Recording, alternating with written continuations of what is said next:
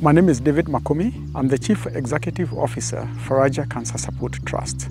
We started Be Bold, Go Gold to enable us establish a childhood cancer fund to address the growing cancer problem in children. 8 out of 10 children in this country will die if they are diagnosed with cancer. This fund enables us to help children access and complete their treatments. Hi, my name is Lakita Frida. I'm a childhood cancer survivor, although many children still suffer from this. When I was diagnosed, it was a tough journey, but with support and treatment, I made it through.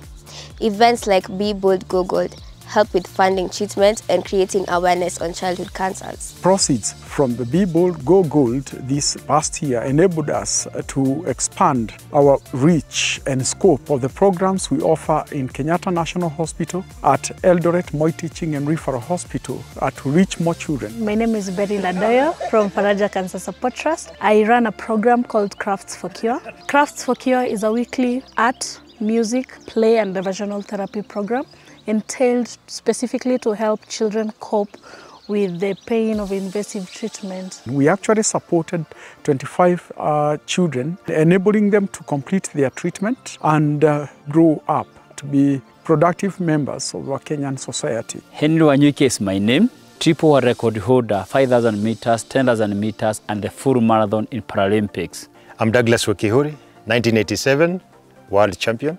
1988 silver medalist in Seoul, Korea. Running has taught me the power of perseverance and the importance of never giving up. These are the same qualities that children fighting cancer display every day. Over the past three years, I've dedicated my effort towards raising funds for children with cancer. And now I'm asking for your support. Together, we're stronger, and together we can make a real difference in these children's lives. Come on, let us run together for those who can't. Join me to occupy KALRO Muguga on September 14, 2024. There will be the 5 kilometers, 10 kilometers, and 21 kilometers.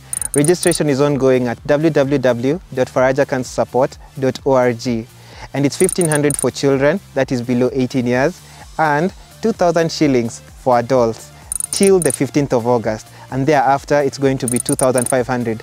So don't be late, take advantage of the early registration. People go home 14 September. Yay!